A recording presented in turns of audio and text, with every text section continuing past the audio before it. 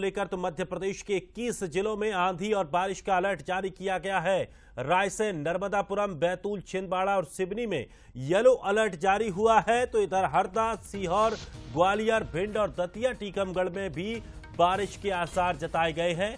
तो ग्वालियर निमाड़ी में गर्मी का असर बना रहेगा, लेकिन मध्य प्रदेश के अब इक्कीस जिलों में आंधी और बारिश का अलर्ट जारी किया गया है।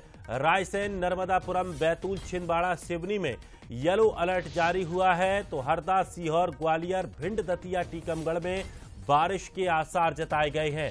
ग्वालियर, निमाड़ी में गर्मी का असर बना रहेगा।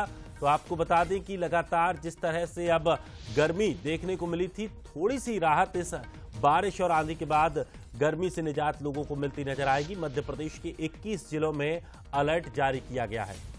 और चलिए अधिक जानकारी के लिए हमारी सहयोगी रंजना हमारे साथ जुड़ गई हैं। रंजना मध्य प्रदेश के 21 जिलों में आंधी बारिश का अलर्ट जारी हुआ है। क्या अपडेट है?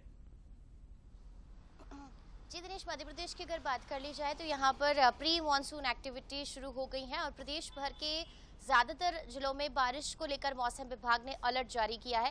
लेकिन बारिश अभी दो से तीन दिन पहले जिस तरीके से हल्की हल्की बारिश हुई थी, उसके बाद लगातार उमस पड़ी थी और उस उमस ने लोगों को बेहाल कर दिया है और अब लोग राहत ज़रूर चाह रहे हैं। ऐसे में जब मौसम विभाग ने अलर्ट जारी किया है, वो भी प्रदेश भर के इक्कीस जिलों में तो आज और कल प्रदेश भर के ज़्यादातर ज़िले जो है हल्की हल्की बारिश के साथ जो बूंदाबांदी है, उससे तरबतर होते हुए नज़र आएँगे। लेकिन लोग यही चाहते हैं कि उनको गर्मी से राहत मिले, उमस से राहत मिले। लेकिन अभी जिस तरीके से जो प्री मानसून एक्टिविटी है, उससे जो बारिश होगी, वो ज़रूर मौसम में, वातावरण में उमस ज़रूर बढ़ाएगी तो फ़िलहाल लोगों को अभी जिस तरीके से अलर्ट जारी किया गया, उसके बाद भी गर्मी और उमस से राहत मिलने की संभावनाएँ नज़र नहीं आ रही है, दिनेश। लेकिन जब पच्चीस जून के बाद मध्य प्रदेश में पूरी तरह से मानसून अपनी आमद दर्ज कराएगा, उसके बाद ज़रूर इस तरीके से जो गर्मी है, उमस है और तापमान है, उससे थोड़ी सी जो राहत है, बढ़ते हुए तापमान से थोड़ी सी राहत ज़रूर मिल सकती है। चलिए, शुक्रिया रंजना जानकारी के लिए। तो देखिए, थोड़ी सी राहत ज़रूर मिलेगी,